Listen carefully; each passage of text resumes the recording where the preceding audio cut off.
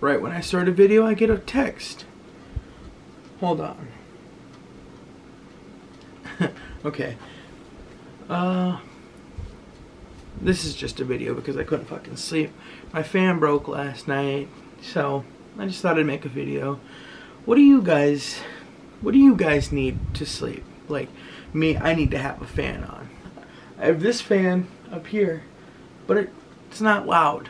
I need noise to sleep. Otherwise, I just don't sleep. And I was supposed to go to work today. Uh, I'm supposed to go to work today at uh, 7.30, but I am too drained to go to work, and I don't even really need that job. So I, I guess it don't matter.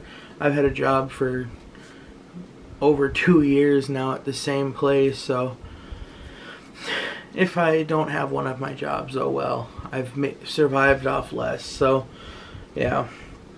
But uh, let's have a conversation. Let's put whatever you want down in the comments. And Jeremy will probably put, "Oh, you're fat," you know, something like that.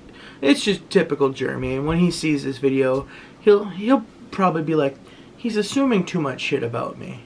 What if I was gonna put something like, "Hey, your eyes look beautiful," but that's not Jeremy. And this conversation will probably come up tomorrow when I go to SA.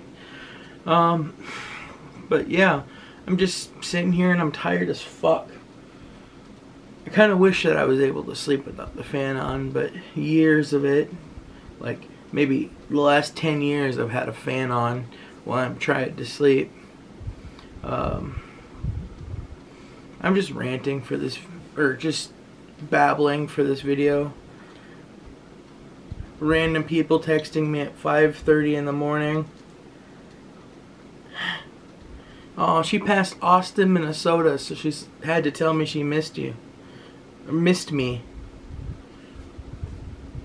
Oh, that's cute. Ugh. My life is a downwards. Like, I feel like Stu Pickles, where he's making pudding at 3 in the morning because his life is going nowhere.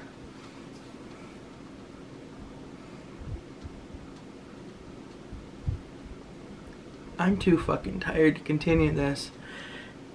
Have a good night. Like, comment, subscribe.